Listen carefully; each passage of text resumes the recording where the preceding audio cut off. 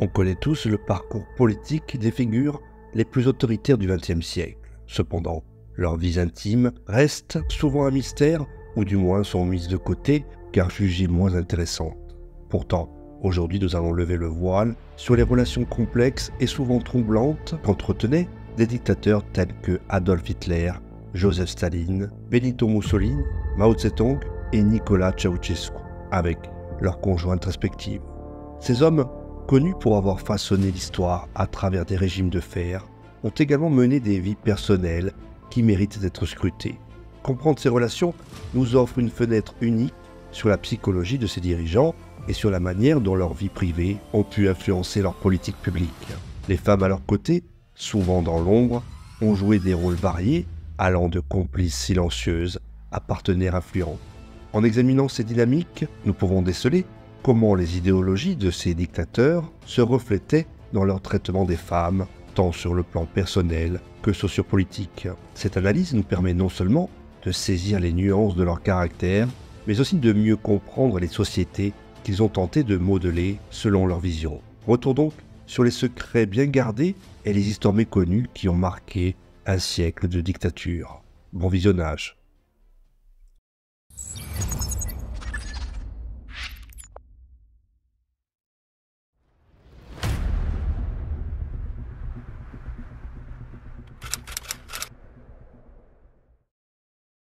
La relation entre Eva Braun et Adolf Hitler est l'une des histoires les plus énigmatiques et fascinantes du Troisième Reich. Leur relation, qui a duré plus de 16 ans, reste entourée de mystères, car elle a été soigneusement dissimulée au public jusqu'à la fin de la Seconde Guerre mondiale.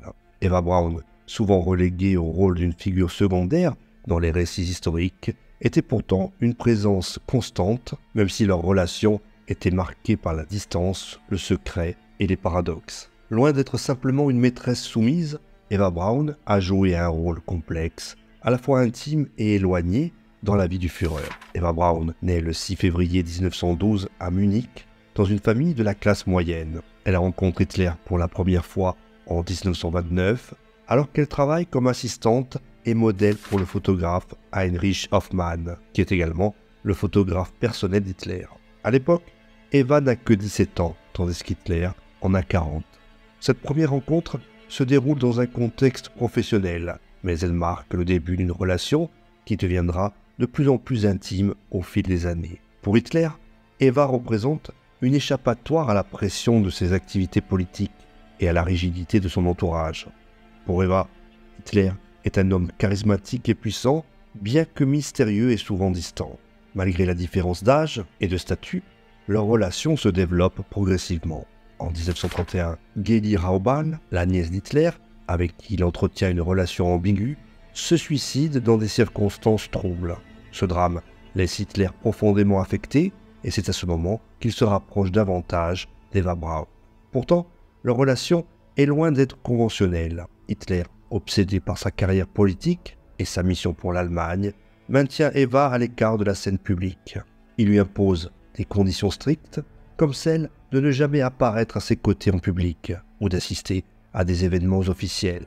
Eva Braun doit rester dans l'ombre et leur relation doit rester un secret jalousement gardé. La solitude et l'isolement qu'elle ressent dans cette relation marquée par le secret sont des thèmes récurrents dans les journaux intimes d'Eva Braun. Elle écrit fréquemment sur sa frustration de ne pouvoir partager publiquement sa vie avec Hitler, sur son sentiment d'être reléguée à un second rôle et sur la douleur de vivre dans l'ombre. Malgré tout, elle semble profondément attachée à lui, et leur relation perdure malgré les difficultés. Hitler, de son côté, semble apprécier la compagnie d'Eva pour sa simplicité, sa discrétion et sa capacité à le distraire des affaires d'État. Elle est l'antithèse des autres femmes qui gravitent autour de lui comme les admiratrices ou les membres du parti nazi. Elle ne s'intéresse pas à la politique et cela semble être précisément ce qui la rend attrayante pour Hitler. Au fil des années, Eva Braun devient une figure centrale dans la vie privée d'Hitler, même si leur relation reste strictement cachée du public. Elle passe de plus en plus de temps avec lui, notamment dans sa résidence alpine, le Berghof, à Berchtesgaden. Là, elle mène une existence relativement tranquille, entourée d'un petit cercle d'amis et de serviteurs, loin des regards extérieurs. Hitler la couvre de cadeaux et lui accorde certains privilèges, mais il continue à la maintenir à l'écart de ses activités politiques. Elle n'a aucun rôle officiel et son influence sur les décisions politiques d'Hitler est quasi inexistante, contrairement à ce que certaines rumeurs ont pu suggérer. Eva Braun semble accepter cette situation, bien que ses écrits révèlent parfois une certaine amertume et un désir de reconnaissance. La relation entre Eva Braun et Hitler est marquée par des moments de tension, notamment lorsque Eva, désespérée par la froideur et la distance d'Hitler, tente à deux reprises de se suicider. En 1932 et 1935, elle avale des somnifères dans ce qui semble être des appels au secours, mais elle est secourue à temps.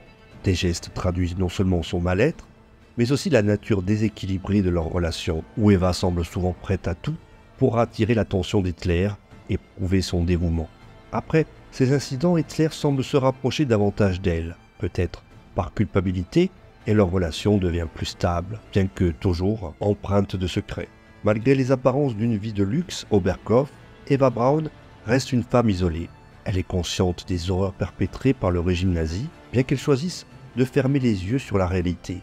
Elle se tient volontairement à l'écart de la politique et ne semble pas s'intéresser aux décisions du régime, se concentrant plutôt sur sa vie personnelle et ses loisirs, comme la photographie et le cinéma. Elle filme de nombreux moments de leur vie au Berghof, offrant un rare aperçu de la vie privée d'Hitler et de son entourage. Ces films montrent un Hitler détendu et souriant, loin de l'image du dictateur impitoyable. Pour Eva, ces moments représentent sans doute des instants précieux de normalité dans une relation par ailleurs étrange et complexe. Avec l'intensification de la guerre, la relation entre Hitler et Eva Braun évolue. Hitler devient de plus en plus absorbé par la guerre et leur vie au Berghof est progressivement remplacée par des séjours dans le Führerbunker à Berlin. Eva Braun malgré les dangers croissants, choisit de rester aux côtés d'Hitler jusqu'à la fin. En avril 1945, alors que les forces soviétiques se rapprochent de Berlin, elle rejoint Hitler dans le bunker sous la chancellerie. C'est là, dans cet espace confiné, que leur relation atteint son apogée tragique. Le 29 avril 1945, dans un geste ultime de dévouement et de loyauté, Eva Braun épouse Adolf Hitler. Ce mariage, célébré dans l'intimité du bunker, est l'aboutissement de 16 ans d'une relation complexe. Pour Hitler, ce mariage semble être un acte symbolique, une manière de récompenser Eva pour sa fidélité. Pour Eva, il représente l'accomplissement de son désir de reconnaissance et d'acceptation, même si c'est à la veille de leur mort. Le lendemain, le 30 avril 1945, Adolf Hitler et Eva Braun se suicident ensemble dans le bunker. Eva avale une capsule de cyanure, tandis qu'Hitler se tire une balle dans la tête. Leur corps sont ensuite brûlés pour éviter qu'ils ne tombent entre les mains des soviétiques. La relation entre Eva Braun et Hitler, longtemps ignorée par les historiens, est aujourd'hui considérée comme un aspect important de la vie privée du dictateur nazi. Leur histoire est celle d'une jeune femme qui, par amour ou par fascination, a choisi de lier son destin à celui d'un homme responsable de l'une des plus grandes tragédies de l'histoire. Si Eva Braun n'a jamais joué de rôle politique significatif, elle est néanmoins restée une présence constante dans la vie d'Hitler, incarnant une forme de normalité domestique dans un monde de violence et de guerre. Leur relation, marquée par la dissimulation et le secret, reflète les contradictions du régime nazi. Eva Braun, souvent perçue comme une figure passive et superficielle, apparaît dans cette relation comme une femme profondément attachée à un homme qu'elle ne pouvait peut-être jamais pleinement comprendre, mais qu'elle aimait malgré tout. Sa décision de rester avec Hitler jusqu'à la fin et de mourir à ses côtés a été interprété par certains comme un acte de fidélité tragique et par d'autres comme une preuve de son aveuglement face aux crimes du régime. Quoi qu'il en soit, la relation entre Eva Braun et Adolf Hitler demeure l'une des énigmes les plus troublantes du Troisième Reich, une histoire d'amour et de mort au cœur de l'une des périodes les plus sombres de l'histoire moderne.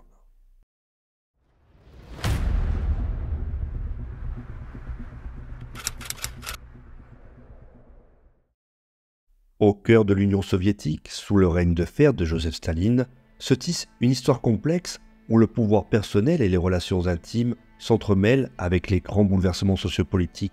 Staline, un homme d'acier aux multiples facettes, a vu sa vie personnelle marquée par des relations tumultueuses et des mariages qui reflètent les contradictions de son époque. Figure emblématique de l'Union soviétique, Staline a eu deux épouses au cours de sa vie, chacune reflétant les différentes phases de sa montée au pouvoir et les transformations de la société soviétique. Ekaterina Kato Svanitse, sa première épouse, était une géorgienne qu'il a épousée entre 1903 et 1904. Leur mariage fut marqué par des périodes de séparation dues aux activités révolutionnaires de Staline. Ekaterina est décrite comme une femme douce et aimante qui a apporté une certaine tendresse dans la vie du jeune révolutionnaire. Elle est décédée prématurément en 1907 des suites de la tuberculose ou du typhus, laissant derrière elle un fils, Yakov Djougachvili. À sa mort, Staline aurait déclaré que la disparition d'Ekaterina avait emporté avec elle ses derniers sentiments tendres envers l'humanité. Nadezhda Alilouyeva, sa seconde épouse, était la fille d'un révolutionnaire russe et a rencontré Staline alors qu'elle était encore enfant. Leur relation a commencé lorsqu'elle travaillait comme dactylo dans le bureau de Lénine et au commissariat du peuple aux nationalités, où Staline était commissaire. Ils se sont mariés en 1919, après que Nadezhda ait accompagné Staline à Tsaritsyn, aujourd'hui Volgograd, pendant la guerre civile russe. Ensemble, ils ont eu deux enfants, Vassili, qui deviendra général dans l'armée de l'air soviétique, et Svetlana, qui s'enfuira aux États-Unis en 1967. La vie de Nadezhda, aux côtés de Staline, était loin d'être facile. Elle vivait isolée au Kremlin et souffrait de la politique brutale de son mari, notamment pendant la découlakisation. Nadezhda a commencé à contester les décisions de Staline, influencée par les conflits au sein de l'Académie d'industrie et par les confidences de membres du parti opposés à Staline. Elle s'est également opposée à l'attachement de Staline à Lavrentia Beria qu'elle méprisait profondément. Nadezhda s'est suicidée le 9 novembre 1932 après une dispute avec Staline lors d'un dîner célébrant l'anniversaire de la révolution d'octobre. Sa mort a été un choc pour Staline et a marqué un tournant dans sa vie personnelle et politique.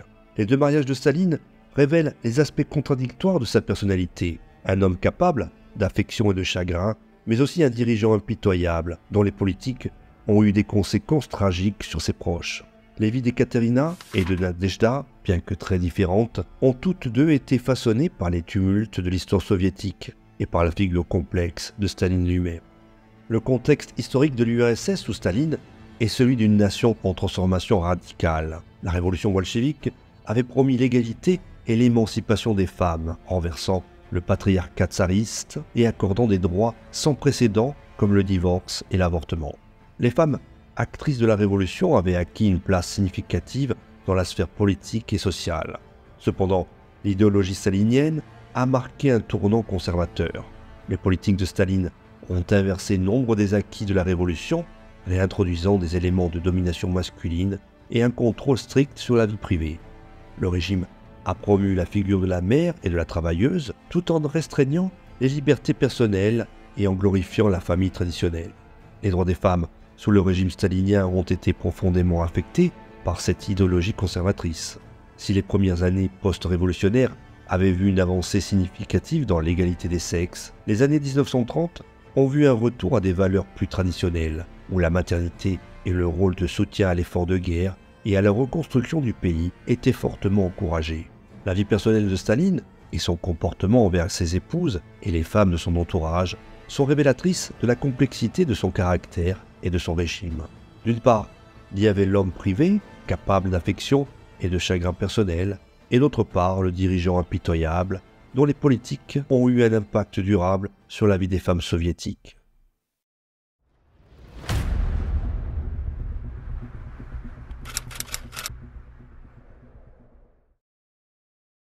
Benito Mussolini, le duce de l'Italie fasciste, était un homme dont la vie personnelle était aussi complexe et controversée que son règne politique. Sa relation avec les femmes en particulier révèle un aspect de sa personnalité souvent occulté par son image publique de dirigeant autoritaire et viril. Mussolini a cultivé une image de macho, un homme à femme, qui se vantait de ses conquêtes et de sa virilité. Cette façade était en partie une construction délibérée, destinée à renforcer son image de leader puissant et incontesté. Il était connu pour ses nombreuses affaires, certaines avec des femmes influentes, qui ont joué un rôle dans sa vie politique, comme Margherita Sarfat, une intellectuelle et critique d'art qui a contribué à façonner l'image du fascisme en Italie. Cependant, au-delà de cette image publique, les relations de Mussolini avec les femmes étaient complexes et souvent tumultueuses. Sa longue relation avec sa femme, Raquel Eguid, a commencé par un mariage civil en 1915, suivi d'un mariage religieux dix ans plus tard, après son ascension au pouvoir. Bien que Raquel soit restée à ses côtés tout au long de sa vie, Mussolini continuait à entretenir des liaisons extra-conjugales, la plus célèbre étant avec Clara Petacci, qui a fini par partager son sort tragique lors de leur exécution en 1945. L'image publique de Mussolini en tant que macho était également un outil de propagande fasciste utilisé pour promouvoir l'idéal de l'homme italien fort et dominateur, en contraste avec les déviants que le régime cherchait à marginaliser. Cette posture était enracinée dans l'idéologie fasciste qui valorisait la virilité et la force comme des vertus nationales, et qui voyait les femmes principalement comme des mères et des épouses, des soutiens au projet de renforcement de la nation. Les affaires de Mussolini et son comportement envers les femmes de son entourage révèlent donc une facette de la culture fasciste et de la personnalité du Duce, qui est souvent négligée par les discussions sur son régime. Elle montre comment, même dans sa vie privée, Mussolini incarnait et promouvait les valeurs d'un système qui cherchait à contrôler et à définir l'identité et le rôle des individus dans la société. Ces relations, bien que personnelles, étaient intrinsèquement liées à l'idéologie politique qu'il représentait et à la société qu'il cherchait à modeler selon sa vision. L'Italie fasciste, sous la direction de Benito Mussolini, a effectivement connu une transformation significative dans la politique, la société et l'idéologie, en particulier en ce qui concerne le rôle des femmes. Le fascisme qui a pris le pouvoir en 1922, a cherché très tôt à renforcer l'État et à promouvoir une image de puissance et de vitalité. Dans cette optique, les femmes étaient vues principalement comme des mères et des épouses, des piliers de la famille qui devaient soutenir la démographie et l'idéologie du régime. Mussolini, désireux de renforcer la population italienne pour soutenir ses ambitions impérialistes, a lancé des initiatives pour encourager la natalité. Les femmes étaient incitées à avoir de nombreux enfants pour la gloire de la patrie. Des récompenses et des distinctions, comme la Medaglia della Maternità, étaient décernées aux mères de familles nombreuses. Ces politiques étaient accompagnées d'une propagande intense qui glorifiait la maternité et présentait la femme idéale fasciste comme une mère dévouée et une épouse obéissante. L'idéologie fasciste concernant les femmes était contradictoire. D'une part, elle prenait le retour des femmes au foyer et leur rôle traditionnel de mère. D'autre part, le régime avait besoin de femmes dans le travail, surtout pendant la Seconde Guerre mondiale, où elles ont dû remplacer les hommes partis au front. Cependant, même dans le travail, les femmes étaient souvent reléguées à des rôles subalternes et moins bien rémunérés que les hommes. Les initiatives de Mussolini pour promouvoir la natalité comprenaient également des mesures coercitives. Les contraceptifs étaient interdits et l'avortement était criminalisé. Les campagnes de santé publique mettaient l'accent sur la santé reproductive des femmes non pas pour leur bien-être personnel, mais pour assurer la naissance de futurs citoyens italiens en bonne santé. La femme idéale fasciste était donc celle qui se consacrait à la famille et à la nation. Elle devait être robuste, fertile et moralement irréprochable. La mode et l'apparence étaient également contrôlées. Les femmes étaient encouragées à adopter un style sobre et fonctionnel, évitant l'extravagance considérée comme décadente et non italienne. Les politiques de Mussolini ont eu un impact durable sur la société italienne et les effets de son idéologie se font encore sentir aujourd'hui. La période fasciste reste un chapitre complexe et controversé de l'histoire de l'Italie et le rôle des femmes en est un aspect particulièrement poignant.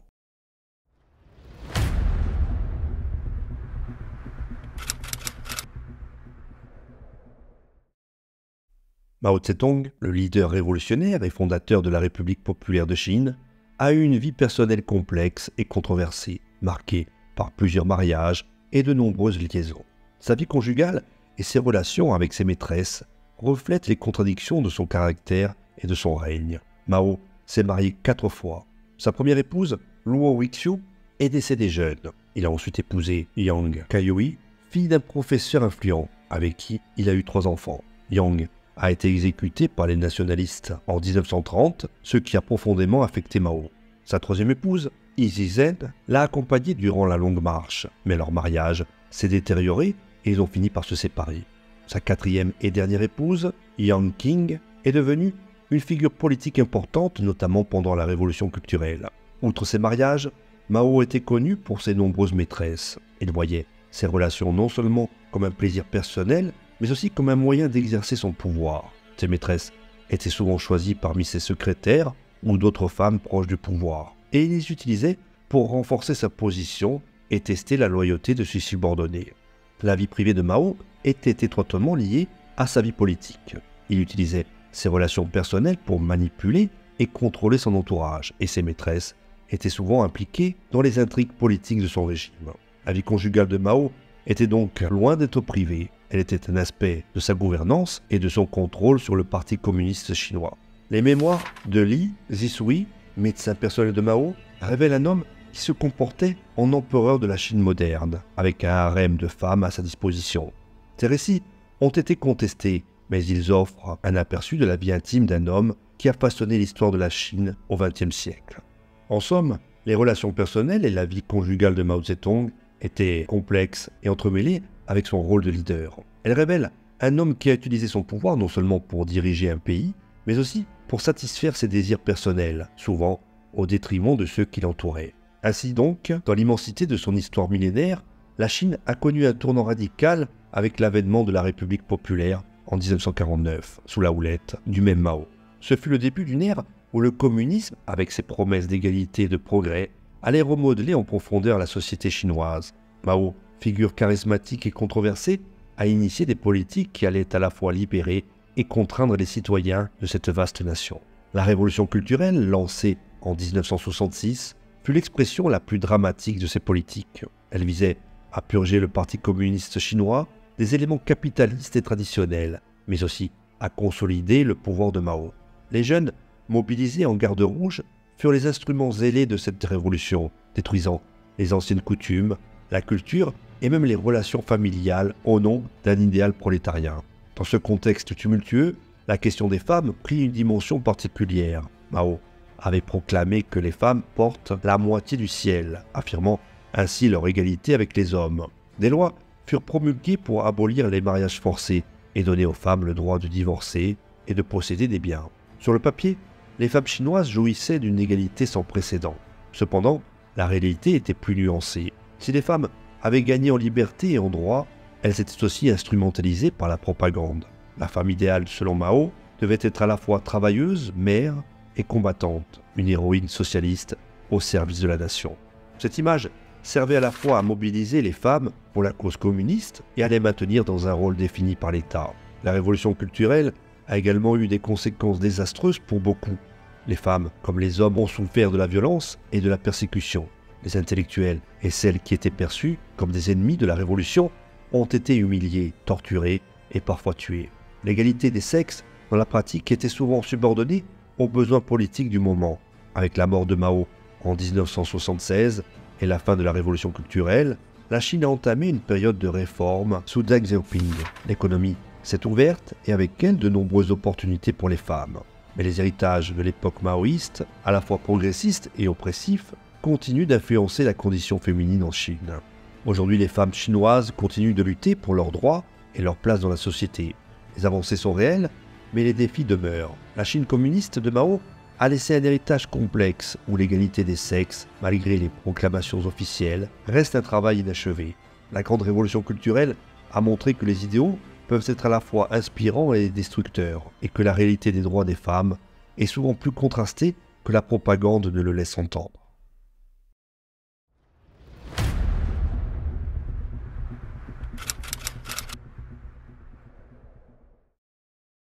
Au cœur de l'Europe de l'Est, la Roumanie de Nicolas Ceausescu se dresse comme un bastion de contradictions et de paradoxes. Ceausescu, un homme d'origine modeste, s'élève au rang de dirigeant communiste, devenant le secrétaire général du Parti communiste roumain en 1965, et par la suite le président de la République socialiste de Roumanie. Son accession est marquée par une volonté de faire et une ambition dévorante, mais aussi par l'influence indéniable de sa femme, Elena Ceausescu. Elena, née dans une famille rurale, se forge un chemin aux côtés de son mari, devenant une figure politique de premier plan. Sa présence n'est pas seulement celle d'une épouse dévouée, mais celle d'une partenaire politique, une conseillère influente, dont l'ascension est aussi fulgurante que controversée. Elle acquiert une forte influence sur la vie politique de la Roumanie, devenant vice-première ministre et s'arrogeant une autorité sur la recherche scientifique et l'équipement industriel du pays. La dynamique de leur relation est complexe. Ensemble, ils décident d'une stratégie pour renforcer leur emprise sur la Roumanie, tout en affichant une autonomie vis-à-vis de l'URSS. Nicolas s'occupe de la politique internationale, tandis qu'Elena supervise les affaires intérieures. Ils apprennent à organiser leur dictature, à manipuler les leviers du pouvoir avec une habileté qui frise la mégalomanie. Elena Ceausescu, souvent perçue comme une chimiste surcotée grâce à l'influence de son mari, bénéficie d'une notoriété et d'un savoir scientifique largement usurpés. Ses titres et diplômes fictifs sont destinés à justifier son autorité, mais il ne trompe personne sur la véritable nature de son pouvoir. Elle devient une figure omniprésente, une mère du peuple, proclamée par son président à vie de Marie, qui lui passe tous ses caprices. Leur relation est marquée par une ambition partagée, un désir de puissance qui les pousse à des extrêmes. Ils mettent en place une politique nataliste extrême, interdisant la contraception et l'avortement, ce qui conduit à des orphelinats regorgeant d'enfants malades et maltraités. Les caprices d'Elena, comme son désir d'obtenir un prix Nobel pour une thérapie anticancéreuse à base d'extrait d'ail, révèlent une déconnexion totale avec la réalité. La chute du régime Ceausescu en décembre 1989 met fin à cette époque sombre. Le couple est exécuté après un procès expéditif, laissant derrière eux un pays marqué par la corruption, la répression et une économie en ruine. La dynamique de leur relation, faite d'amour pour le pouvoir et de démesure, reste un exemple saisissant de la folie qui peut s'emparer des dirigeants isolés de la réalité et aveuglés par leur propre culte de la personnalité. Un aveuglement tel que le régime communiste de Nicolas Ceausescu s'est très tôt distingué par son caractère particulièrement oppressif et isolé. En effet, sous son égide, la Roumanie a connu une période de fermeture sans précédent, tant sur le plan intérieur qu'extérieur. Ceausescu s'érigeant en figure paternaliste, a imposé une idéologie rigide, marquée par un contrôle étroit de la société et une politique nataliste draconienne. Le décret 770, promulgué en 1966, illustre parfaitement cette volonté de contrôle. Ce texte interdisait l'avortement et la contraception pour les femmes de moins de 45 ans, n'ayant pas au moins 4 enfants, visant ainsi à augmenter artificiellement le taux de natalité du pays. Cette mesure loin de refléter une quelconque considération pour le bien-être des femmes, répondait à une logique de production de main-d'œuvre et de puissance démographique. Les femmes étaient réduites à leur rôle de génitrices, privées de leur droit à disposer de leur corps et de leur destin. La chute du régime Ceausescu, survenue dans le tumulte de la révolution de 1989, a marqué la fin d'une ère de répression et d'isolement. La révolution roumaine, bien que brève, a été intense et sanglante, aboutissant à l'exécution expéditive du dictateur et de son épouse. Cet événement a ouvert la voie à une Roumanie plus libre, aspirant à la démocratie et à l'intégration européenne. Cependant, l'héritage des politiques de Ceausescu a laissé des traces profondes. Les femmes, en particulier, ont dû faire face aux séquelles d'une politique qui les a longtemps marginalisées et instrumentalisées. Après la chute du régime, la Roumanie a dû reconstruire non seulement son économie et ses institutions, mais aussi réparer le tissu social déchiré par des années de dictature. Les femmes ont progressivement regagné leurs droits et leur place dans la société, mais le chemin vers l'égalité et la réconciliation avec le passé reste semé d'embûches. Ainsi, l'histoire de la Roumanie sous Ceausescu est celle d'un pays pris dans les griffes d'un régime qui a tenté de façonner la société selon une vision étroite et autoritaire, et dont les femmes ont été les victimes silencieuses. La révolution de 1989 a été le cri de liberté d'un peuple étouffé, un cri qui résonne encore aujourd'hui dans la mémoire collective roumaine.